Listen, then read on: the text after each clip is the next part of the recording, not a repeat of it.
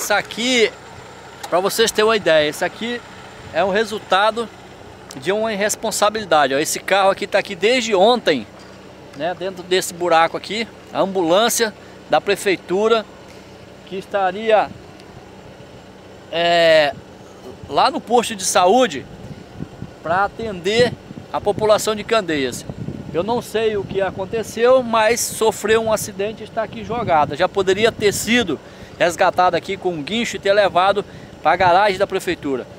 Está aqui, ó, a mercê da sorte, podendo pessoas passarem aqui, levar a bateria, levar o step. Segue, vamos, olha aí, ó. Olha o estado, olha o estado de conservação hoje dessa, dessa ambulância. Essa, essa é a ambulância que tinham divulgado na internet que foi reformada para Triunfo. Isso quer dizer que hoje a Triunfo não tem mais ambulância.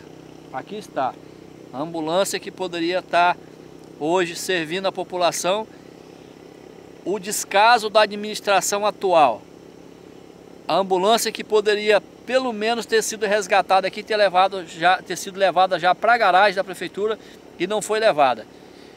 Meus amigos, analise a situação hoje da atual administração do município para vocês verem o descaso com o dinheiro público.